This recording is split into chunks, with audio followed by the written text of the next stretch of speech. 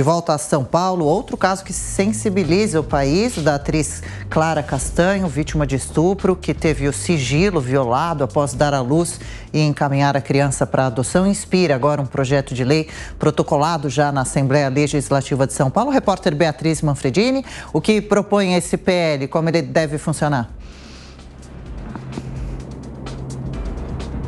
Olha, Adriana, esse projeto de lei ele propõe algumas punições, como multa, suspensão e até cassação da licença médica de quem vazar essas informações, né? A deputada estadual Érica Malunguinho, ela protocolou esse projeto de lei ontem na Alesp, Assembleia Legislativa aqui do estado de São Paulo, justamente porque ela afirma que a lei até prevê o sigilo de informações da grávida e também do bebê, né, de nascimento e de entrega dessa criança para adoção, mas diz que até o momento não há nenhuma responsabilização administrativa para quem vaza essas informações, então é isso que ela quer fazer com esse projeto de lei. Erika Malunguinho disse ainda que o projeto de lei não está sendo só articulado aqui em São Paulo, no estado de São Paulo, como também com outros estados em uma espécie de aliança nacional com outras assembleias legislativas e que além de garantir a punição de quem vazar informações sobre a grávida, sobre o bebê e sobre a entrega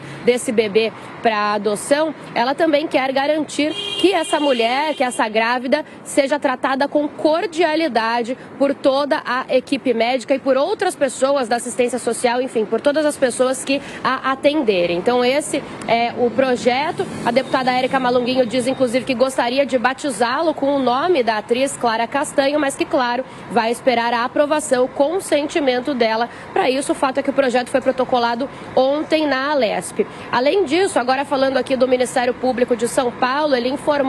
ontem que também iniciou uma apuração, uma investigação sobre o caso da atriz de 21 anos. O Ministério Público está investigando a conduta da enfermeira, né, para entender mesmo o que, que aconteceu, se ela vazou essas informações, como ela vazou, enfim, está apurando o caso como um todo. Além disso, o Conselho Regional e Federal de Enfermagem também estão trabalhando nesse caso já que a atriz Clara Castanho, de 21 anos, ela denunciou que logo após o parto, em uma carta aberta que ela publicou nas redes sociais, ela recebeu ameaças de uma enfermeira do hospital no qual esse bebê nasceu, aqui na região metropolitana de São Paulo, e logo depois, pouco depois que essas ameaças teriam acontecido, a Clara Castanho recebeu mensagens de colunistas e de jornalistas já sabendo todas as informações do que tinha acontecido com ela, que foi estuprada, engravidou e acabou mandando o bebê bebê para adoção direta, que é uma forma legal de adoção. Então, além de Ministério Público, Conselho Federal e Regional